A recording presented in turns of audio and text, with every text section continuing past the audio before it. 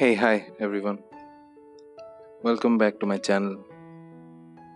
Today I'm trying to sketch Kishore Kumar. For us Indians, he is a stalwart in music industry. He was a great musician.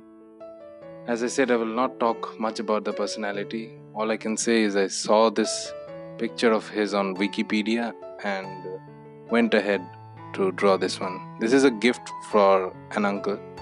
So I hope he likes it later on when I gift it to him.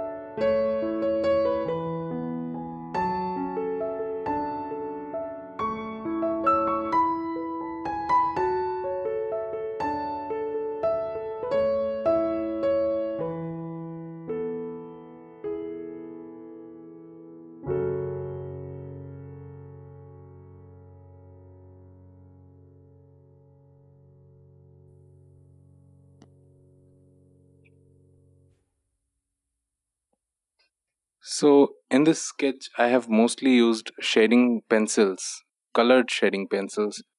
The links to all these pencils will be provided in the description box. I will give all those links. This is mostly the Camlin pencil that I'm using here. This comes in a set, in actually two sets, one for the portraits and the other one for landscapes. I'm using the portrait ones, and I really like the texture of it, but uh, I do believe that you need to make some blends, otherwise, they might not give the correct feel as you really would want. Because for a realistic sketch, you do need to blend all the colors. So that's how it is.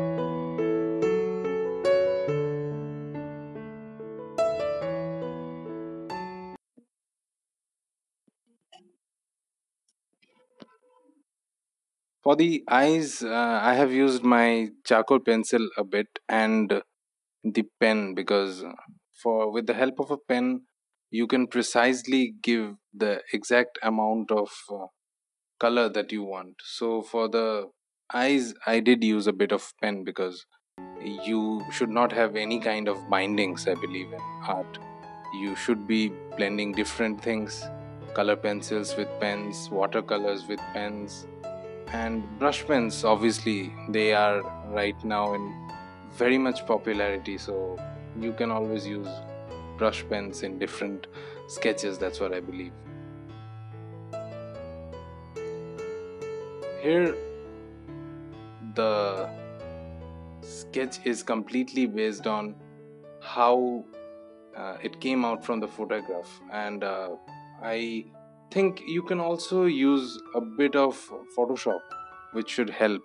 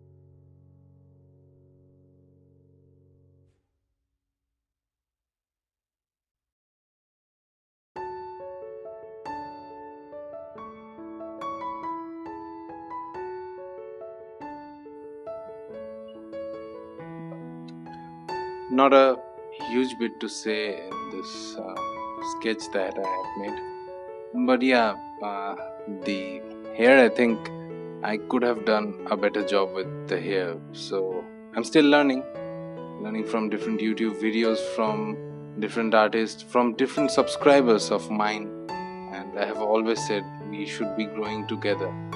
So yes, I have. Uh, I've been trying to learn different techniques from different YouTubers, YouTube artists in particular, and uh, the traditional artists most importantly because they actually know the parts of art that can make it special. So once you know the traditional art, you can move into different horizons, different categories. So this video I have done it in a gap because I had to do two different videos because one I would bring up today as I uh, as I promised promised myself and uh, the next one I would uh, put on 7th yeah 7th of August I believe uh, that will be done. That will be completed because the editing part it takes a real bit of time. So please bear with me for that. And uh, thank you all. Thanks for all the 70 plus subscribers and uh, recently one of my subscriber is a friend actually in real life. He uh, he heard the whole video and that felt so special that uh, thanks thank you for encouraging me. Please keep encouraging me and uh, subscribe to my channel as i always say. Like my videos and if you have liked it and uh, please subscribe to my channel and let your friends know of this channel if they are really interested in art Thank you. Thanks all.